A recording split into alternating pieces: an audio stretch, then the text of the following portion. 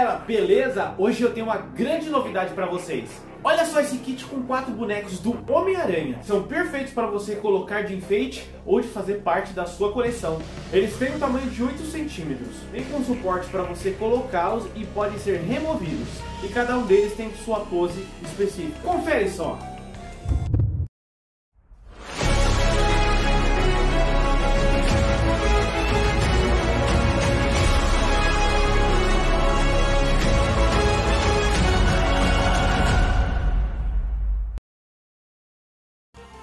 Gostaram? E para adquirir é só você acessar o primeiro link que vai estar na descrição e usar o meu cupom de desconto Panela Nerd 10 para você conseguir 10% de desconto.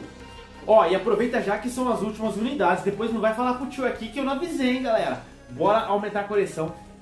Fala galera, beleza? Panela Nerd mais uma vez e eu tô muito feliz que essa, esse vídeo que vocês viram aqui anteriormente é o primeiro de muitos de parceria com o site Modo Ofertas. Fábio Eugênio, brigadão, cara, valeu de coração mesmo, ó. Ó, se prepara pra treta que nesse comentário a gente vai falar sobre uma coisa meio que polêmica entre os fãs. O Homem-Aranha é o mais forte? É o herói mais forte? Eu não sei quem é! O Homem-Aranha é o mais forte dos cinemas? É não, hein?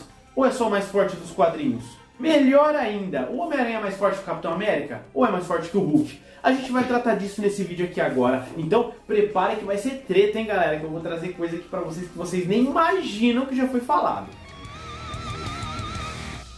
Quando o Homem-Aranha começou lá nos quadrinhos, ele tinha aquela habilidade, ele conseguiu e percebeu as habilidades do Homem-Aranha nele, o fator de cura, é, agilidade aprimorada, ele já era um personagem, uma pessoa inteligente, né? Então ficou mais inteligente com os sentidos aguçados dele e também com, teve que criar aqueles projetos para poder lançar teia. Outros não, outros têm orgânica, né? Você entendeu?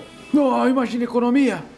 Mas o personagem ele é muito forte, ele consegue é, subir nas paredes e com isso ele tem vários outros atributos sem falar na força dele. Porque se vocês acham que o Homem-Aranha não é muito forte, que eu ouço aí nas enquetes que eu faço, que o pessoal fala o Venom é mais forte que o Homem-Aranha, gente, o Ed Brock, o Ed Brock é o ser humano com o simbionte. O simbionte dá a força para ele. O Peter Parker, pela sua mutação, tem uma força absurda. A diferença é que por ser um bom monstro da vizinhança, ele tenta segurar a força ali, segurar as pontas, porque ele não quer arrebentar a cara do vilão já, já logo de começo, né? Ele quer, quer dar uma chance pro cara. Às vezes ele dá até chance demais, né? Mas enfim. Se a gente pegar para analisar as habilidades do Peter Parker, do Homem-Aranha em si, o principal da Terra 616, sim, ele é muito forte, habilidoso. Se ele fosse enfrentar o Steve Rogers, o Capitão América, o Capitão América tem vários atributos. Logo após que ele tomou o soro, ganhou mais força e agilidade sobre-humanas, além das capacidades físicas, é claro. Ele tem é, velocidade, agilidade, também possui sentidos aguçados e uma regeneração acelerada. É absurda a, a aceleração dele. Se ele estiver numa luta e começar a se lesionar, eu estou falando de várias conclusões, não é só aqueles arranhos que vem na pele, não. É mesmo, é? Ele consegue se curar mais rápido e volta para a linha de frente enfrentando ele.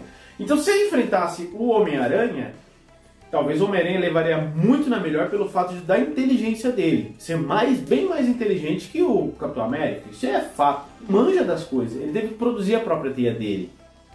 Para poder fazer aqueles cartuchos de disparo dele. Sem falar em várias outras é, situações em que ele mexeu com a química para poder enfrentar vilões do universo dele. Aí você vai me falar, ah, mas é claro que o Homem-Aranha ganhar no Capitão América, ele só luta com aquele escudo, gente o Capitão América Steve Rogers lutar com escudo não quer dizer que ele sabe lutar só com escudo. Em vários momentos dos quadrinhos e até nos cinemas que vocês têm visto, se ele pegar qualquer tipo de arma, ele tem habilidade em manejá-las. De forma até com maestria. Mas, comparando os dois nos quadrinhos, eu acredito que o Homem-Aranha sim ia levar melhor. Agora me diz vocês, o que, que vocês acham? Deixa aí nos comentários a treta. Muito bem, Homem-Aranha é mais forte que o Hulk. Contra o Hulk é a buraca mais embaixo, galera. O Hulk é muito forte, é muito resistente. Ele tem uma força absurda. Então, se o Peter não conseguir é, se esquivar bem ou criar, porque assim, o Hulk, se pegar uma vez o Homem-Aranha, já era. Nos quadrinhos, vários embates que eles tiveram entre eles, teve muitas que o Homem-Aranha saiu na melhor e outras que o Hulk saiu na, na melhor mais ainda. Ou então o Homem-Aranha teve ajuda de alguém, ou simplesmente ele usou a genialidade dele mais uma vez para tentar tapear o Hulk assim e sair na surdina, sair fora porque às vezes não compensava enfrentar ele de frente. Mas no combate sério, com força máxima, os dois um contra o outro, eu acredito que o Hulk ia sim levar a melhor. E nós temos os quadrinhos do Planeta Hulk para já deixar a prova timbrada para vocês sobre isso. Agora, talvez a gente conversando sobre isso pode pensar assim: o Homem-Aranha é mais forte dentre os Homens-Aranha? Qual é o mais forte?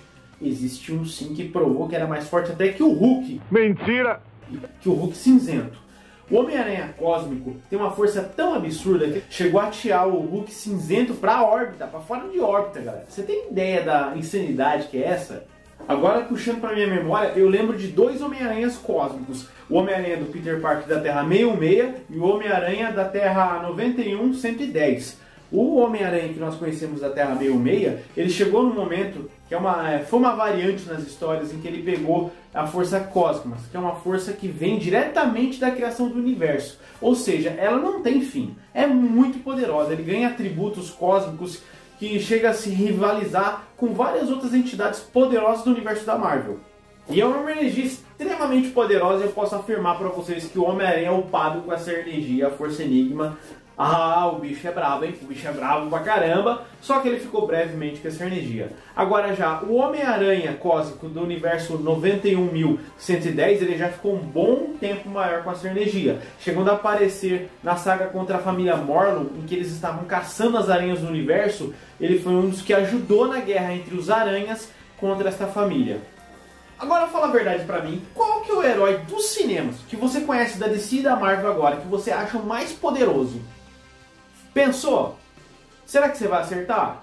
Agora o que eu vou te falar não é minha opinião, não. Agora, você acredita que teve uma faculdade, uma faculdade britânica, que fez um estudo? Na verdade, eles estudaram por sete anos os heróis dos quadrinhos, os heróis da Marvel nos cinemas e os heróis da DC Comics da Warner, para ver em vários atributos, em várias coisas que eles estudaram ali, para ver qual que é o mais forte. Eles chegaram à conclusão chegaram. A conclusão é que o herói, rufem os tambores, o herói mais forte do universo dos cinemas é o Superman do Henry Cavill. Isso, eles falaram que é o mais poderoso entre vários aspectos que eles estudaram. Tô falando sério, não vem ficar bravo comigo não, que eu tô pegando de um estudo, é um estudo deles lá. Se quiser reclamar, liga para eles lá, fala o teu embrumation aí do inglês e reclama. Mas eles colocaram o Henry Cavill, o Superman dele, como o primeiro nessa hierarquia de mais poderosos. Seguido depois do Wolverine do Hugh Jackman e depois vem o Thor da UCM. Logo eu vou trazer um vídeo falando só desse estudo aí dos personagens que eles colocaram e as métricas que eles fizeram para dar uma estudada nisso. Beleza, galera? Vocês vão gostar desse vídeo. Mas você precisa para isso poder ver esse vídeo depois, não se esquecer de se inscrever no canal e deixar esse sininho maroto ativado para você poder ver esse vídeo que eu vou trazer, sem falar de outros vídeos da cultura pop e nerdística em geral, viu pessoal? E não esquece de deixar a panelada no like, esse panelada no like me ajuda bastante, pessoal. Vocês não têm ideia. Isso mostra pro YouTube que vocês gostam do meu conteúdo, que ele é de relevância para vocês e que vocês querem que eu não pare, beleza? Um forte abraço, obrigado sempre, cara, vocês são demais. Agora, sinceramente aí, pode falar pro pai, pode falar, não tem aquele teu amigo que fica bravo com você quando você comenta algo que é contra o que a maioria pensa. Ele não vai te ouvir. Pode falar aí, deixa nos comentários qual é o herói que você acha mais forte. Ou melhor, se você acha o Homem-Aranha mais forte contra quais vilões. Comenta aí e deixa o porquê que eu acho legal. Quem sabe não vira vídeo aqui no canal, hein? Seria uma boa, hein? Não é verdade? Mas eu quero saber realmente. Muita gente vai falar que talvez o roteiro, o roteiro é que vai dar o troféu para o campeão, mas nem sempre ele é bem válido e bem aceito. Vale lembrar que um roteiro, para ser bem aceito entre os fãs, você tem que realmente convencer o cara de que aquele personagem é mais forte. Por exemplo, assim, o Batman vence o Goku. Que? O que foi que você disse? Se você fizer um negócio desse na internet, você vai ganhar armas apontadas para sua cabeça e talvez até cartas de ameaça. Você vai ter que explicar, você vai ter que convencer, usar o charme do roteirismo para convencer o cara de que realmente o Goku perderia pro Superman, ou pro Batman, ou pro Homem-Aranha. Imagina essa luta? Não tem nem comparação. Mas olha lá, hein? Sem treta, galera. Vamos comentar de boa, vamos conversar. Pode dar sua opinião maluca mesmo, mas sem xingamento, sem brigar, que eu sei que vocês ficam doidos, ficam se remoendo aqueles caras nervoso da vida mesmo, beleza? Eu entendo vocês, eu sei como é que é, que eu já fiquei muito assim mesmo com outras comparações. Mas um forte abraço mais uma vez, muito obrigado. E não se esqueçam de dar uma olhada no link aqui embaixo daqueles quatro kits bonecos para vocês. Vocês vão gostar que são muito supimpas, são da hora pra caramba, viu? Beleza? Um forte abraço para vocês e até mais. Fiquem com Deus. Uh!